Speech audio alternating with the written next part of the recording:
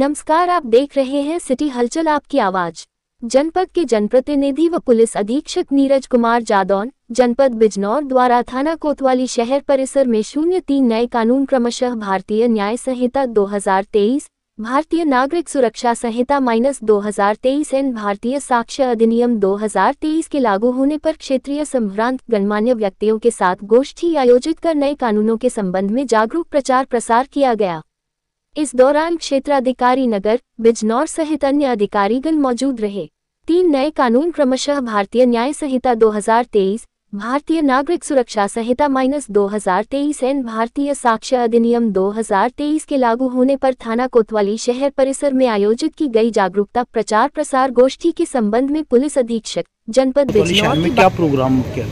आज जनपद बिजनौर के सभी थानों में जैसे आपको जानकारी है आज से जो तीन नए कानून हैं, वो लागू हो गए मध्यरात्रि से रात को बारह बजे के पश्चात। B N S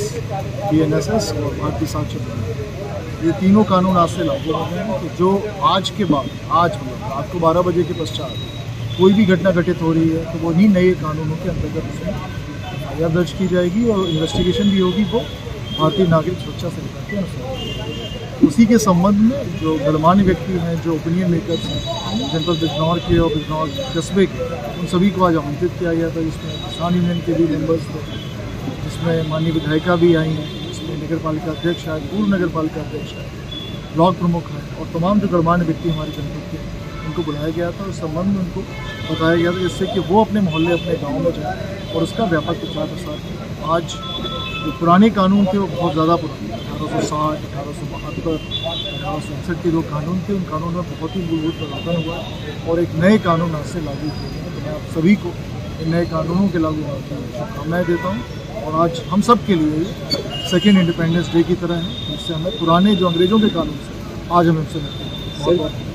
ये कानून जो लागू हुए हैं आम पब्लिक को तो कम पता है। तो क्या तो विभाग की तरफ़ से कोई प्रचार प्रसार इस तरीके से किया जाएगा प्रसार का ही एक पिछले चार दिनों से हम लोग इसका प्रचार प्रसार कर रहे हैं। पैम्फलेट बांटे जा रहे हैं थानों पे लगाए जा रहे हैं हम चौकी पे भी लगाए जा रहे हैं। और जो समस्त थानों पे जो आज मीटिंग बुलाई गई वो एक प्रचार प्रसार का ही एक वो